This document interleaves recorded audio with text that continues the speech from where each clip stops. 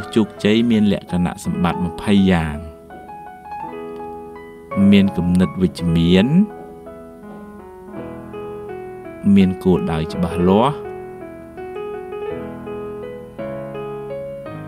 ពេញចិត្តចំពោះការងារជឿជាក់លើខ្លួនឯង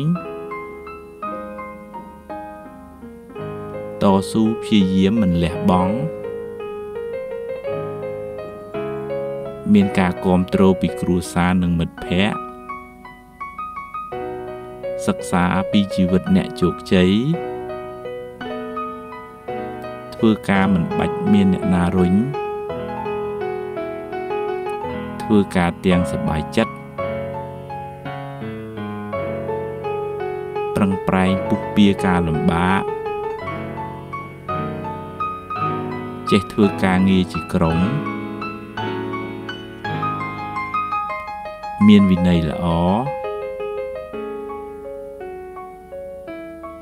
ត្រៀមរៀបចំការងារបានល្អចេះធ្វើឲ្យអតិថិជនសប្បាយចិត្តរៀបចំការងារបានល្អិតល្អន់ម្ចាស់ការលើការងារមិនបាច់មានអ្នកណាប្រាប់ច្រើនពូកែឆ្នៃប្រឌិត ស្មោះត្រង់